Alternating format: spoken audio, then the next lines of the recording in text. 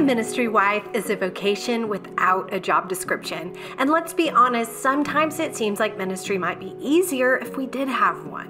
If you are a ministry wife like me and are looking for hope, perspective, and a little bit of practical advice regarding your role, you're in the right place.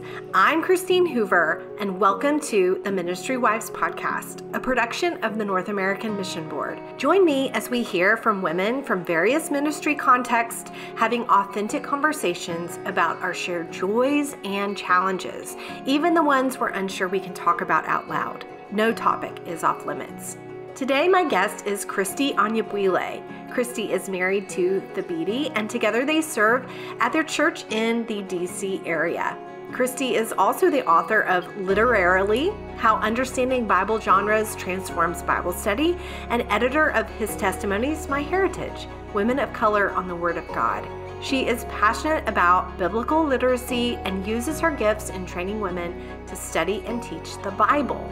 Kristie joins me today to talk about raising pastors' kids, specifically of the teenage variety. She answers questions today about how she has helped her kids love God and the church, and how she's helped them find their place of service within the church. Kristie is a wealth of wisdom in this conversation, and I can't wait for you to hear it. So, here, friends, is my conversation with Kristie Anyabwile. Kristie, welcome to the podcast. I'm so glad to have you. I'm so glad to be here. Thank you so much. Well, I when I thought about parenting teenagers in while in ministry, you came to my mind because I know that you have kids who have already left the house mm-hmm. and you have still one in the house. And so you're at the perfect stage to kind of say, "Oh, here's some things that I've done and here's some things that I'm still doing and still learning. And so I'm so excited to have you speaking to us about raising teenagers in the pastor's home. So I'd love for you to just start by telling us about your family and your ministry currently. Yes, thank you. Well, you know, it, it, every parent loves to have an opportunity to talk about their kids, reflect on mm-hmm. parenting, and even the, the good, bad, and the ugly. You know, it's just, you know, it's part of what we do as parents is just um, kind of rehearse the years, right? And yes. rehearse God's faithfulness to us, even in the midst of difficult seasons and things like that. And that's how we grow. So I'm excited about this conversation. But um, yeah, so Thabiti is my husband. We've been married 31 years now and um, been together 34 and we have three children. Our oldest is 24 and she um, is um, has been working for the past few years um, and now she's into her master's program in english and so we're excited for her in this next phase of life. And then my uh, second daughter she um, is also working full time, and both of them live away from home now. It was really nice to have them for a season uh, during the early part of the pandemic, having all the family back together, even though they were out of school and in college and different things. Um, so it was nice to have them home for a season, but they're off doing their own thing. And yeah. I would another thing about and so and then I have a son, my third one. I'll leave him out. And he is middle teenager doing all the teenage boy fun things and he brings all the teenage drama in the house and it's a lot of fun. So it's about like friendships and socialization and all that kind of stuff. And yeah so so those my and then i have a dog. He's a puppy. We got him um, August 2020, and he really is like another child in the house, and he is the most spoiled one here uh, in my household. So that's, a little bit about my family. One other thing I'll say, as I was just kind of thinking about this conversation we were going to have, and again, reflecting on parenting and raising children, something happened a few weeks ago, and I was like, oh man, it was one of those moments as a parent where you're like, wait, I'm in a different phase and I haven't really processed this. Yes. So my daughter called me she FaceTimed me, my oldest. And she recently moved, you know, moved away. and um and she, my she and my second daughter they're in different cities. So one is in north carolina the other's in tennessee. She Facetime me and i'm looking at her but then my middle my second daughter is in the facetime too.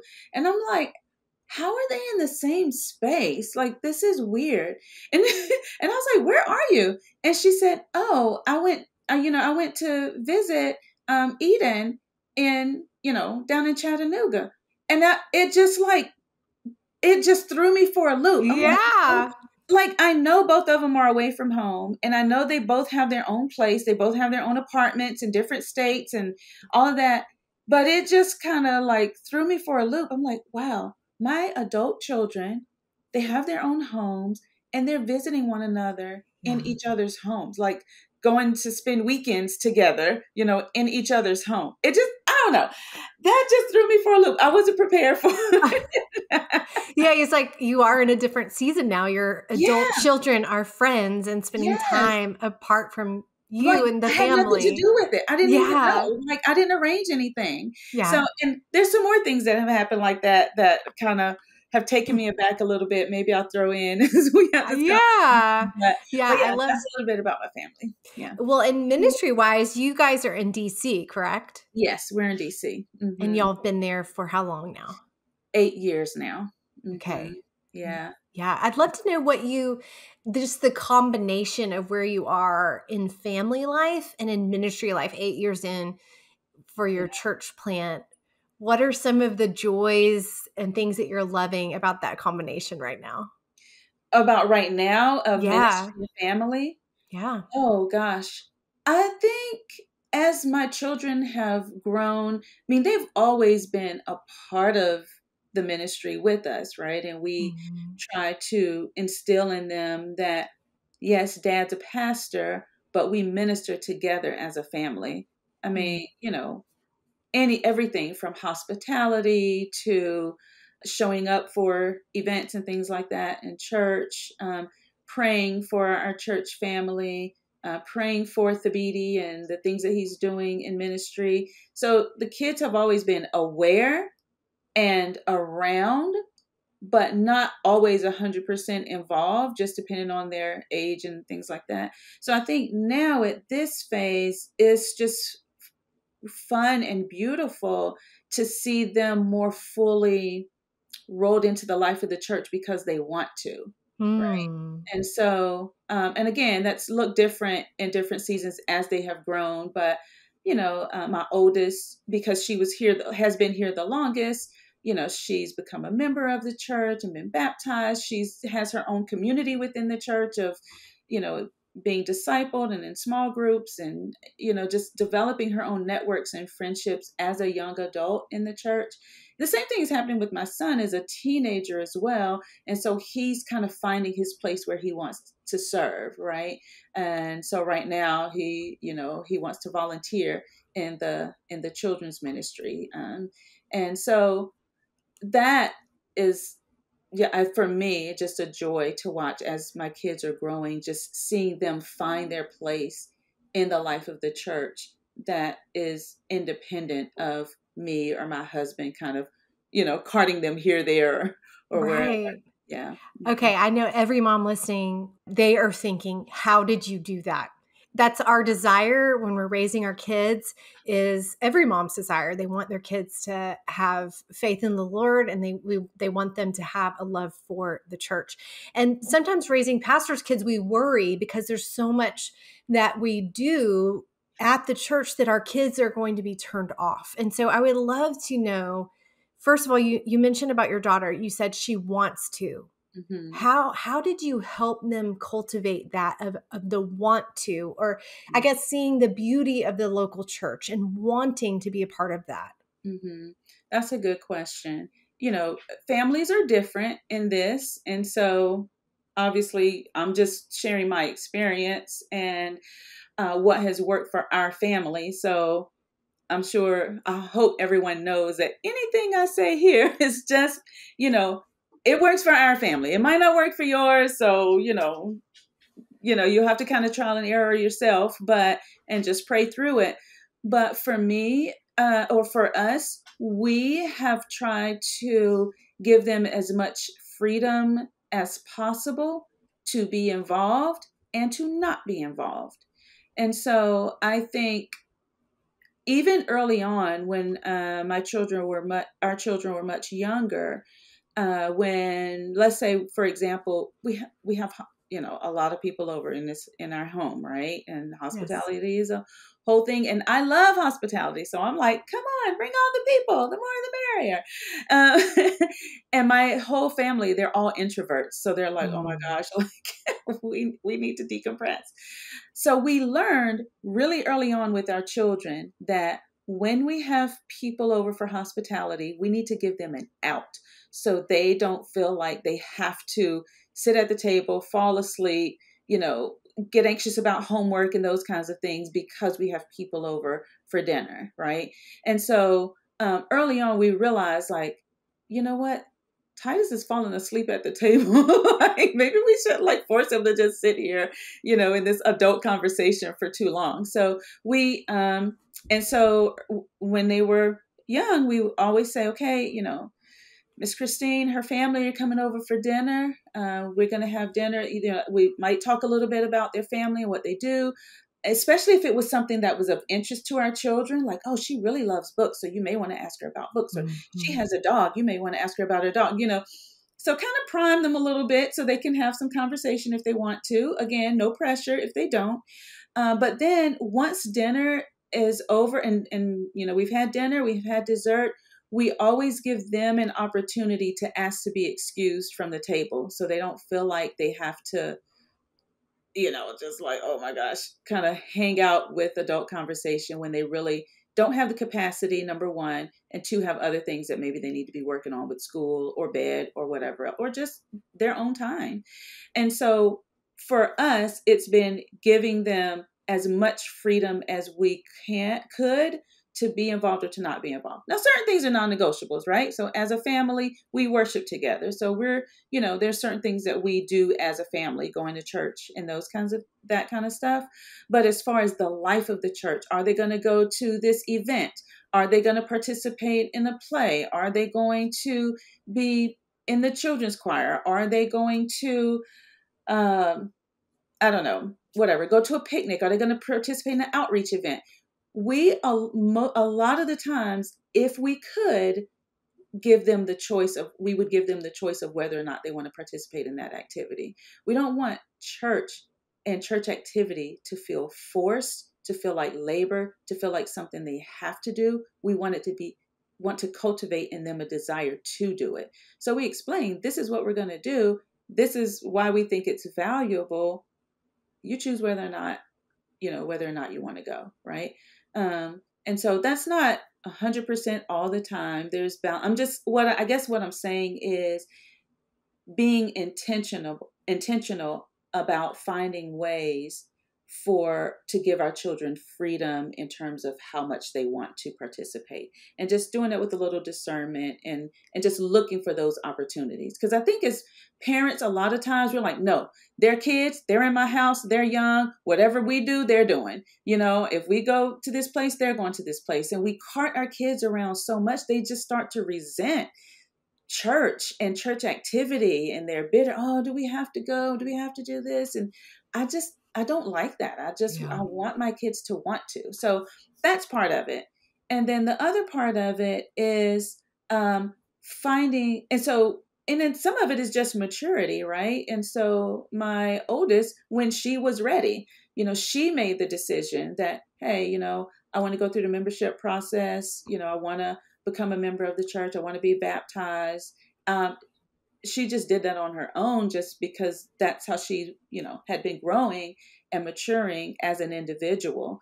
And so a part of it and so that as well and again lots of different views on this but even when it comes down to and this might get me into a lot of trouble even when it comes down to quiet time am i going to force my children to have quiet time or not? You know and we've done it. We've we've bought them bible studies and you know kids bibles and study bibles and this aid and that aid and just trying to force feed them into the faith. And it doesn't work like that right? Faith doesn't come by force feeding, it comes by the work of the Spirit in the heart, whether that heart is a little heart that's five, six, seven, eight years old, or whether that heart is a teenager or older. And so we cultivate hearts and we want the habits to be, um, we want the habits to be such that their hearts are tuned towards it, not that their hearts are bent against it. So if you don't want to, if you don't want to do a quiet time, that's on you. Here the thing, this is why quiet time and time with the Lord is so important. We think it's valuable. And we think God will meet you when you have that time with him.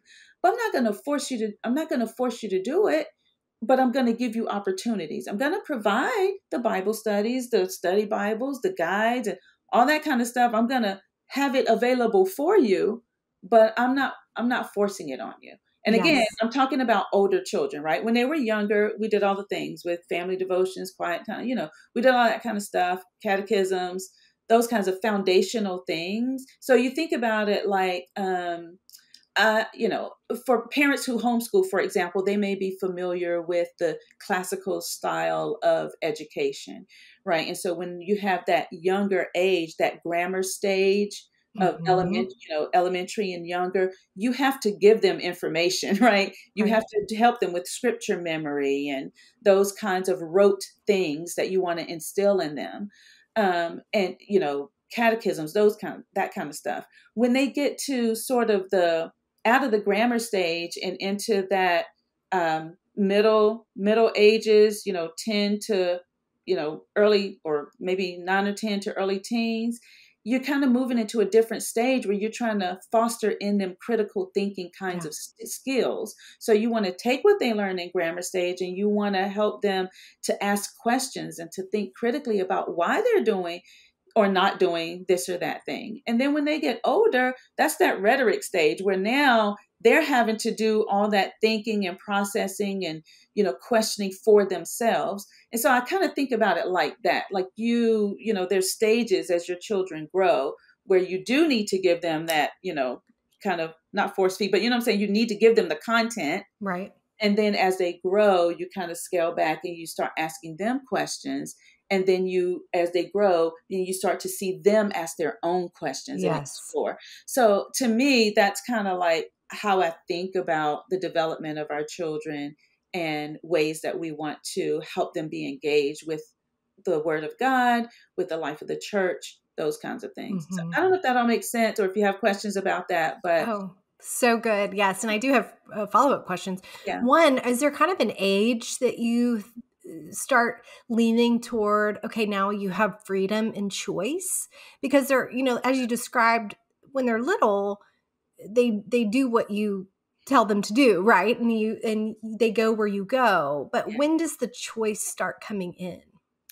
Uh, i do think there's a point in that kind of preteen age maybe that double digit when they hit double digits you can tell as a parent you can tell because your kids start to rebel a little bit they start to complain and you know and i there's a there's a there's a way to look at that where you say oh my my child is rebellious and you know they're not listening to me and they you know they're kind of you know you fear as a parent oh my gosh they're straying maybe they're straying away from the faith or something. But a part of that is just natural child development right? They're growing and they do have questions. And so as a parent you can look at that that little that those seeds of rebellion or whatever you want resistance i'll call it not not rebellion resistance. You can look at those seeds of resistance and say oh man i need to hone this in. Or you can look at those seasons of resistance and say okay wait a minute. I'm getting resistance from my child. Let me ask some questions about uh, let me ask them questions but let me also evaluate where they are maturity wise and maybe i need to start not force feeding them so much and scale back and start asking them questions, drawing them out. What would be most helpful to you? You know, um, do you even like, you know, I come to one, one for one of my um, children, for example, they didn't like anything packaged. You know, they just want, give me the Bible, give me a journal and a pen. I'll do my own thing. Right. And, you know, I had another child, then they just, you know, I mean, just, I'm just saying each child has a yeah. different kind of bent in terms of their own personality.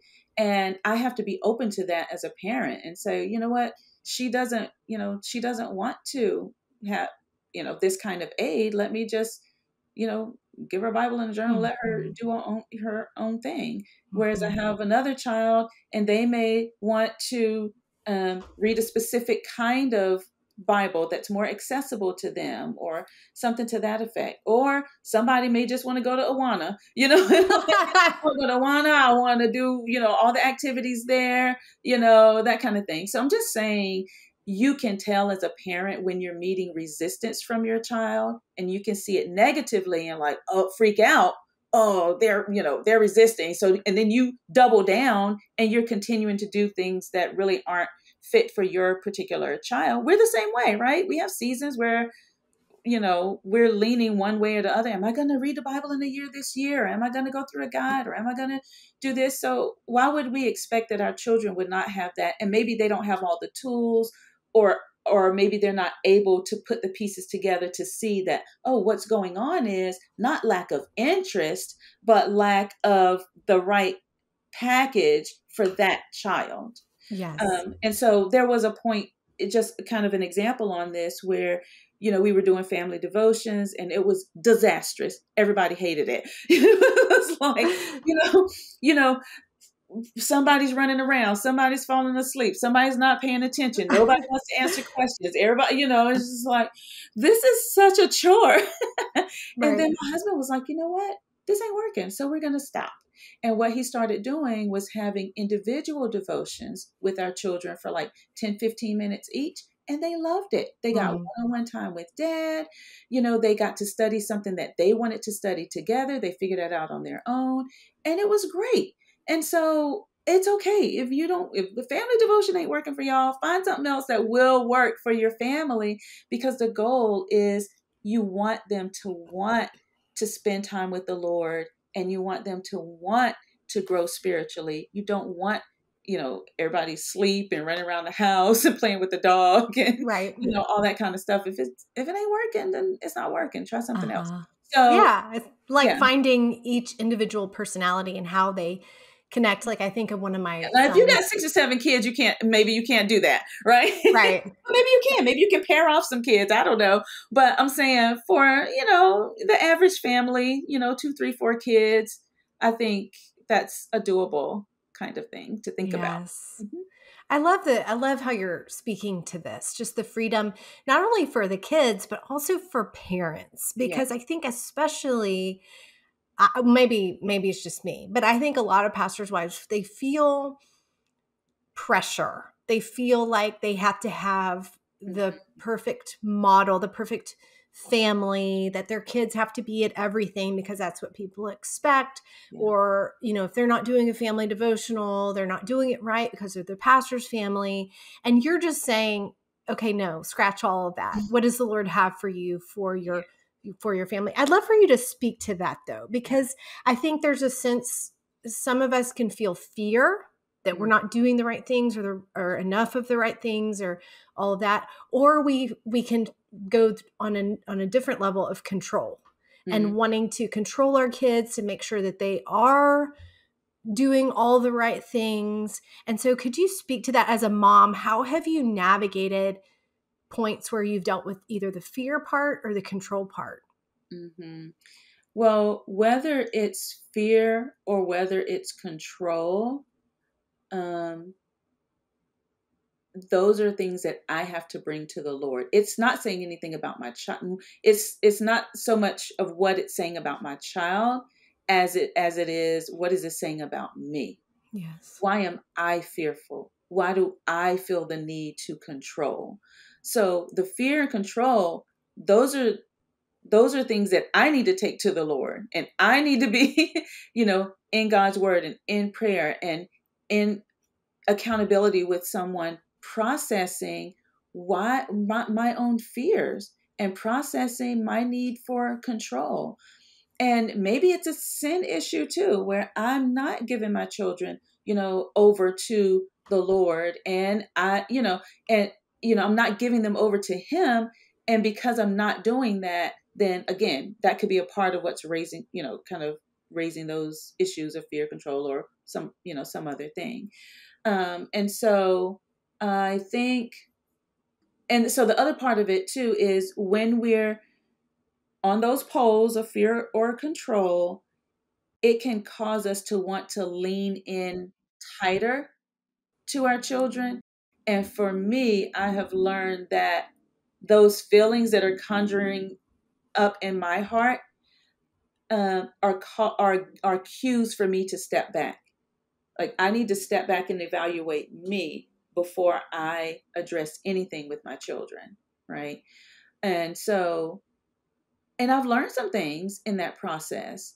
I've learned how, in certain instances where I was really trying to control my child, that my personality is, you know, our personalities just clash. And it's kind of like I'm trying to force them into a personality or a mold that's really not them, right? Yeah, right. And so there's no way I, I can't make I'm an extrovert, and extroverts think that everyone should be extroverts, right? we, we have a problem. we do have a problem. And so I can't make my children not be introverts. I can't give them energy that they don't have. Yeah. But when I try to control, oh, you should come out. You should, you know, come and talk to this person. You should come and do this activity. You should be involved in that. You should do that. Come on, let's do this. Let's do that. I'm killing my kids. Like, eh, like their emotional, their emotional, physical tank is empty. So I have to realize that. Or they spent all day in school with all kinds of people. When they come home, they're tapped out. Yeah. That's just how they're wired. I can't make them something other than that. And so for me to try to force them into habits, patterns, and things that just aren't, they just aren't built for, that's just that's unfair. So that's one of the things I learned is like, okay, so when my children come home for school from school, I'm like, what did you do? Who did you talk to? What happened with this? And da da da da. No, step back and give them space let them put their headphones in, let them listen to their music, let them take a nap on in the car, you know, maybe give them a snack. They disappear for an hour or two. And when their batteries are recharged, then they come downstairs. We have beautiful conversation and it's easy.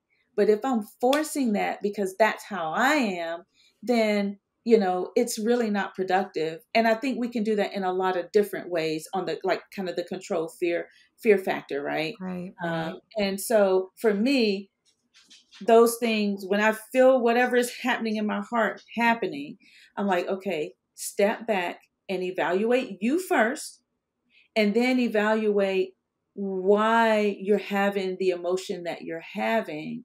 And is there something um, about you that needs to change?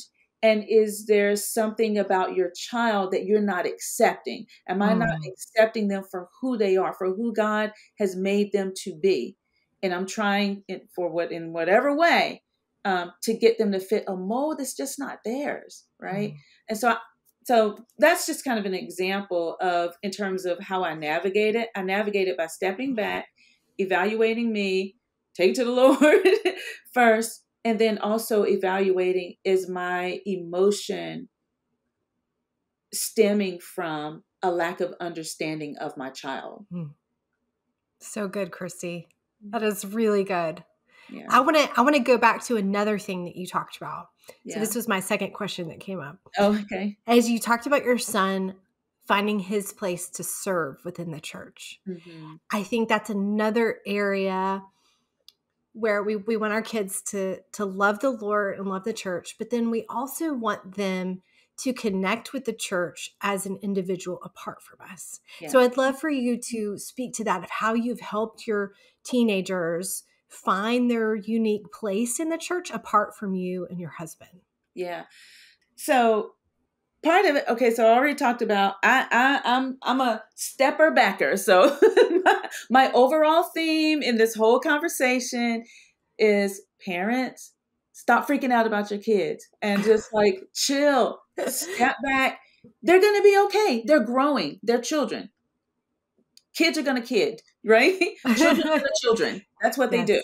Yes. um, and we don't have to freak out about it right? And so with my son he um, is very active in sports and those kinds of things. Um, and like mo- a lot of children, especially in the teenage years in high school, they have to have community service hours. well, he's so busy doing basketball and soccer, hanging out with his friends on the weekends, you know, doing all these things. Yeah. It's like, uh, bruh, you got community service hours that you have to do. Like, what do you, how, how are you going to do that? And so he's, you know, it initially started with like, I can't do it then. I can't do it then. I can't do it then. I can't do it then. I'm like, what about Sunday? You know, we're in church and they're always looking for volunteers and children's ministry. You ever thought about that? he was like, oh, okay, you know, maybe I'll think about that. So you know, the initial interest is not like, I just want to serve in the church. It's like, right. community service hours in. How am I going to do that? Oh, I'm in church anyway on Sunday. Like, why don't I do it then? So it's, but, but that he's willing, um, and he, and he, um, that he's willing is a win for me. Number one. Number two, I wouldn't say it's totally apart from us in a sense because I'm like, hey, you're in church every Sunday. You know, I'm kind of, you know, giving him the idea. But he could have said, no, I don't really want to do that. I, you know, and that would have been fine too. But the other thing was when he, when I brought the idea up to him, for example, about um, serving in children's ministry, um, and he knows he has other friends who, you know, who serve there as well. Um, but he was a little bit nervous about like going through the process. And so mm-hmm. I said, I'll do it with you, you know, and we can both serve. And so it's not like apart from us, but it's it's in this particular instance, it's kind of a partnership with. So we're both going through the child care training um, and you know signing up for you know to serve like on the same Sunday or yeah. something like that. So that he's just getting that part started now. So you know, so it doesn't have to be fully apart but it does have i think it does have to do with giving them a vision for um, the and uh, the life of the church being um, something that they can be involved in right and i think early on you know when our children were younger just continuing to instill in them especially when they're little i think when they're like under the under 10 for example and they don't they think church is for grown-ups you know especially if you don't have like a children's ministry where children go away during the during the service time. Our children are with us during the service time and so they drift off they take naps they draw you know draw pictures and we found ways to kind of keep them engaged but for the most part when they're younger they don't really see church as for them and so finding those points of saying no um, when we go to worship on sundays that's for you too.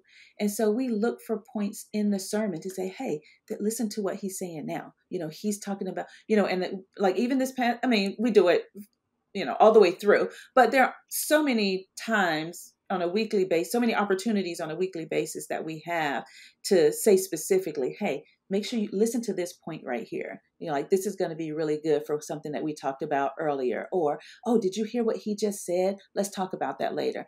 And mm-hmm. so you know, like a lot of families, once, you know, we've had our worship time at church and we're having lunch, we'll talk about just do a service review. What did you think? You know, what were your highlights? What were some things that you were left with? You know, and just kind of rehearse, you know, was there a song that really stuck, you know, stood out to you this week and those kinds of things. So I think just all along the way, um, pointing them to areas of the service that does connect with them and then as they grow making service in a church like this is a viable option for you you know like yeah. yeah. you need to serve the church needs people to serve you need to do service hours the church needs people to serve like this is this is a great combo right here let's you know let's see if we can make that work um so yeah i wouldn't say it's totally independent for every child but you know, I think it's just putting those deposits in early when they're younger, giving them a vision for it, and then making it feel like, oh, this is this is natural and it's good, and it's not just because mom said so. It's because right. it's meeting a need that I have, whether it's a really practical need or um, or a spiritual need. Mm-hmm. That's one of my favorite things about having teenagers in in ministry is helping them because you we often know what the needs are the volunteer opportunities are and so getting to point those out to them and say hey that's something to consider and it goes along with the freedom thing that you talked about earlier. They don't have to do it but hey mm-hmm. that that fits with your gifts you know you're really good at this and they may not see that in themselves but getting to point that out and say well why don't you try it and yeah. and that's fun to watch them become their own person and learn what they're gifted for but i mm-hmm. think also one of the fun things for me about teenagers is seeing them develop relationships with other people in the church yeah. that it's not completely apart from me yeah. but it's people who show a special interest in my children Mm-hmm. and encourage them or maybe come to their sports games exactly. or things like that like even adopted grandparents in the mm-hmm. church that has been a really unique joy for me and getting to talk about it with my boys and to say um, do you do you see how this person is loving you do you see mm-hmm. um, their gifts do you see their faith do you see you know how special they are um, that's a joy that is true. I'm so glad you mentioned that because that you're right. So that again, it's not completely apart from you because sometimes you curate those relationships and a little, you know, right. you kind of nudge a little bit to curate some of those relationships, but some of them they don't. So when we, you know, when you you know when our families hang back after church and talk to people, I mean, it's just I love it when adults come up to my um, son and they you know, talk to him or my daughters and they ask them about school or ask them about sports. What you're saying, they they come to his sports um, events.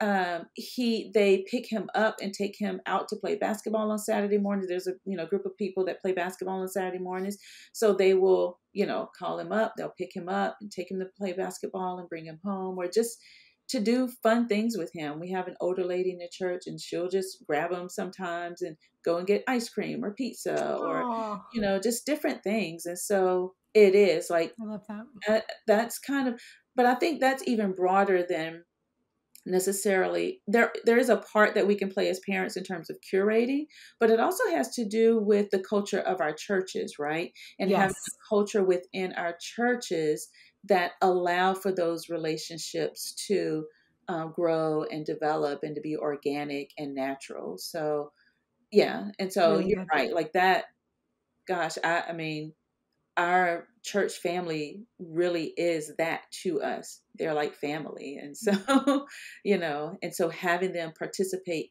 in our family's life in various ways like that is just a gift. Mm-hmm.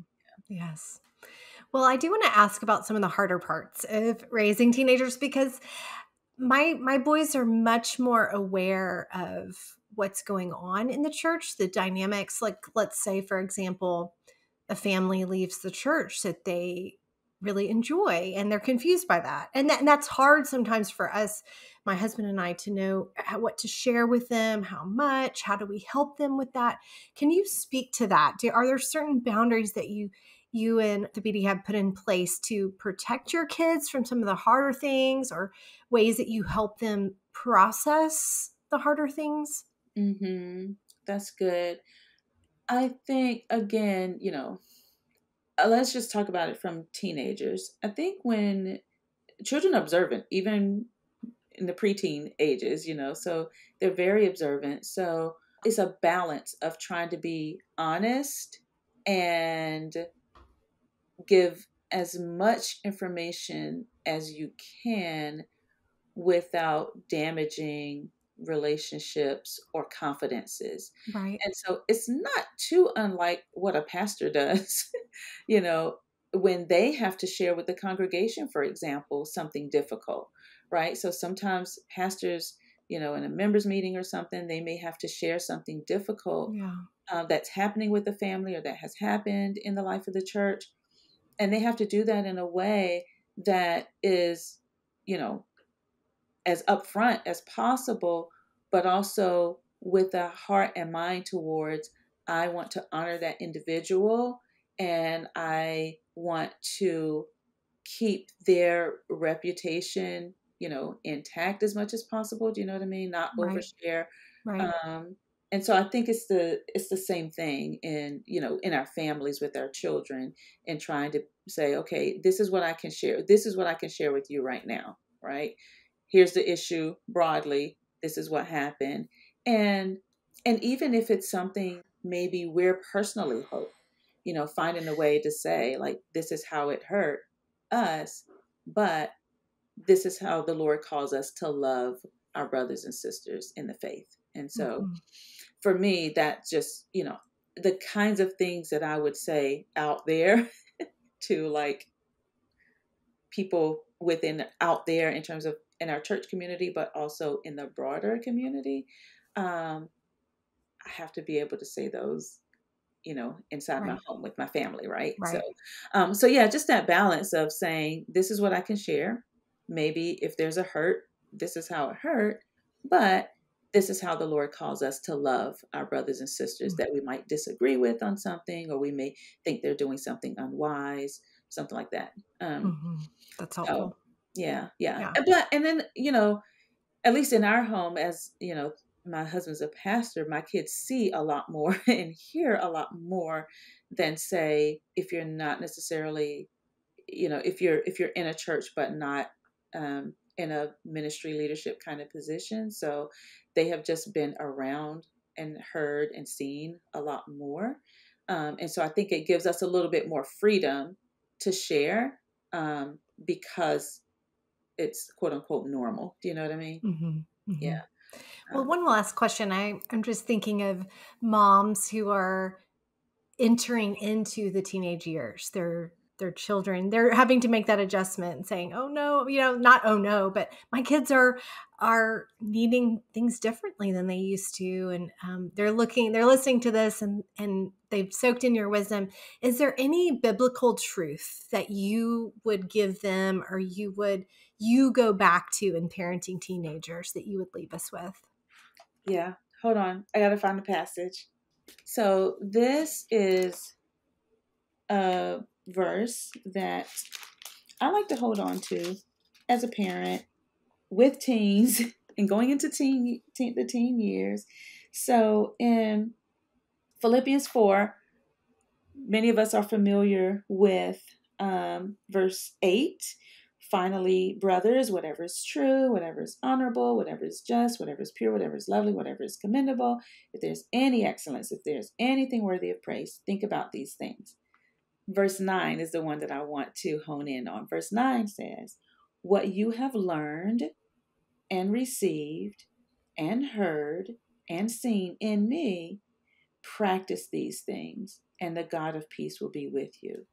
So I think my biblical encouragement to um, those who are out there listening is um, to have a life worth emulating before your children. And this will kind of naturally occur. They will be learning and receiving and hearing from you and seeing things in you. And as they do learn, hear, see, receive, they're going to practice what they see in your life.